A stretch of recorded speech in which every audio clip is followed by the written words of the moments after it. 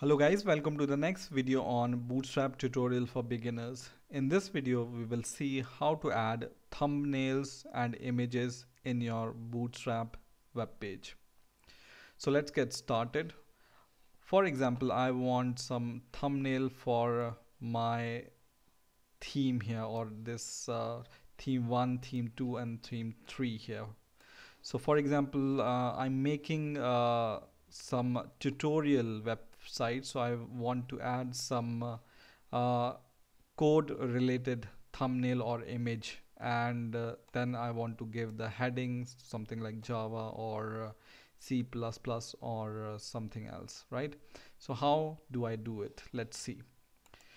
So first of all what I'm going to do is I'm going to go to my project folder where all my bootstrap file are uh, located. And then in here I have the CSS folder, fonts folder and JavaScript folder. I'm going to add one more folder here. So add a new folder and name it as img for images, right? And inside this img folder, paste your images which you want to add to your website. So for example, I want to add these three uh, images and then I will go to my index.html and in here in the last video I have added these uh, three columns inside this row right? And inside the column I have this head tag and this paragraph right?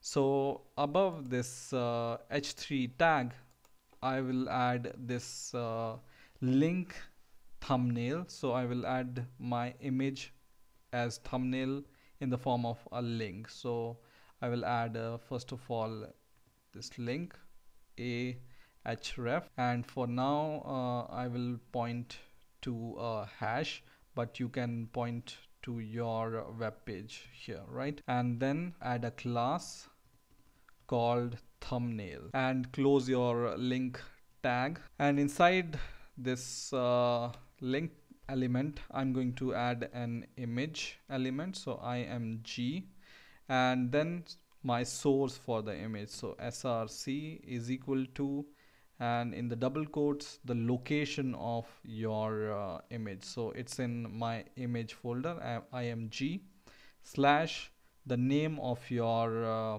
image file. So for example I have uh, cpp.jpg java.jpg and python.jpg so first of all I'm going to add cpp.jpg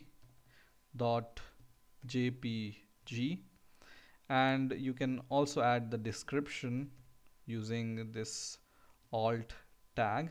So for example cpp tutorial. And close this tag here and save your code. And we will run it in the browser and once you run it you will see your image here right?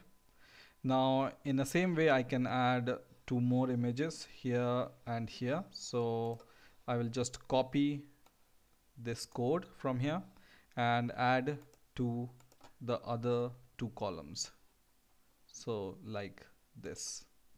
And I'm also going to change this uh, h3 uh, text here for example first is for C++ second is for uh, Java. So I will change the name of this uh, file java.jpg and this is Java tutorial. And third one for example is python.jpg and python tutorial right? And I will change this h head one to uh, python and this here I will replace it with Java for example.